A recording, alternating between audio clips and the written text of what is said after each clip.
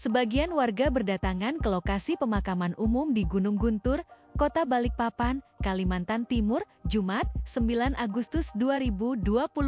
Lantaran kawasan pemakaman umum ini mengalami tanah bergerak atau longsor. Longsor yang terjadi di kawasan Gunung Guntur, Kelurahan Gunung Sari Ulu, Kecamatan Balikpapan Tengah, Kota Balikpapan, Kalimantan Timur pada Jumat pagi membuat warga sekitar sempat panik. Pasalnya, longsor tersebut berlokasi persis di depan permukiman padat penduduk dan mengakibatkan kerusakan besar di salah tempat pemakaman umum, TPU, yang berlokasi di RT 26 itu. Pantauan Tribun Kaltim titik ko, akses jalan keluar masuk warga tempat juga sempat terputus lantaran tertutup oleh makam-makam yang longsor dari atas tebing. Selain itu, kerangka jenazah dari makam-makam di TPU tersebut juga ikut terbawa longsor hingga jatuh ke jalan raya. Kondisi ini menambah kesedihan dan keresahan warga yang makam keluarganya terdampak longsor.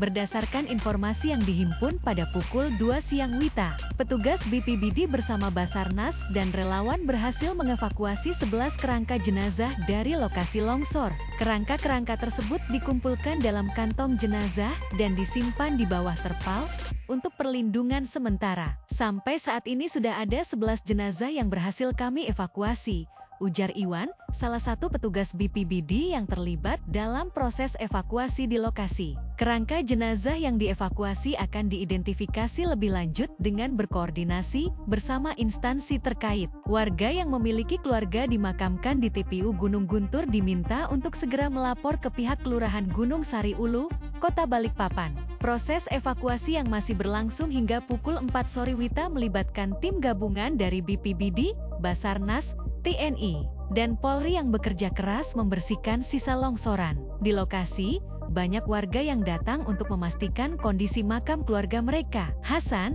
salah satu warga Gunung Kawi, terlihat cemas saat melihat area longsor. Makam keluarga saya ada di sana, ujarnya dengan ekspresi sedih. Sebagian warga lainnya harus menelan pil pahit karena makam keluarga mereka telah tertimbun longsor. Maimunah, warga Karangjoang, menyatakan kesedihannya saya sudah tidak tahu lagi yang mana makam keluarga saya ini. Tadinya di depan situ sekarang sudah rata ke bawah sana. Katanya, tragedi longsor di TPU Gunung Guntur ini menggugah keprihatinan mendalam bagi warga sekitar, mengingat dampak besar yang ditimbulkannya terhadap masyarakat sekitar.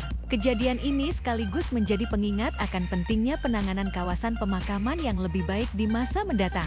Download Tribun X sekarang menghadirkan lokal menjadi Indonesia.